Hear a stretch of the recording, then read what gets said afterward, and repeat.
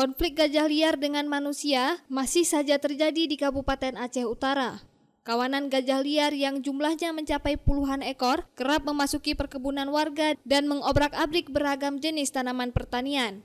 Selama ini warga yang berkebun hanya menghalau gajah-gajah tersebut dengan membunyikan meriam dan mercon pada malam hari. Meski sulit dilakukan dan beresiko, warga terus berupaya agar satwa dilindungi itu dapat meninggalkan kebun mereka.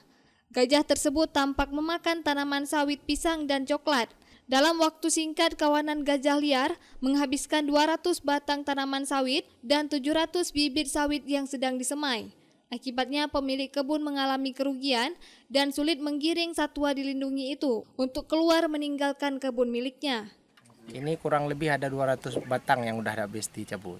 Khusus sawit, tanaman sawit usia berapa nih bang? Ini udah usia 2 tahun setengah termasuk bibit-bibit yang udah kita uh, semai di sini yang udah besar udah habis juga ada sekitar 700 bibit lah yang udah kita semai.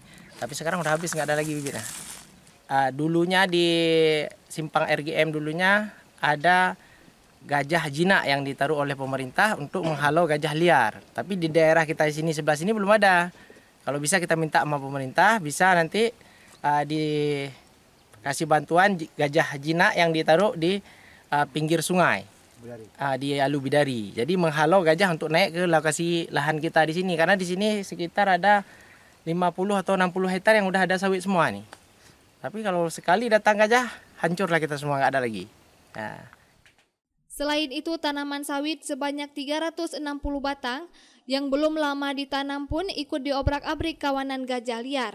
Belasan pohon pinang juga ditumbangkan gajah, bahkan rumah gubuk miliknya juga menjadi sasaran. Warga berharap adanya solusi dari pihak terkait, dalam hal ini Balai Konservasi Sumber Daya Alam Aceh. Kepala Dusun Bate Ulu, Daud mengatakan, kawanan gajah liar kerap memasuki perkebunan warga mulai sore hari hingga malam hari. Bahkan kali ini sulit digiring keluar lantaran beberapa di antara kawanan gajah liar ada yang masih bayi. Udah banyak keberhasilan sana di belah sana. Tapi turun gajah ada dua tahun ini udah hancur lah. Ini dijaga habis-habisan. Tapi ini udah mulai hancur kemari.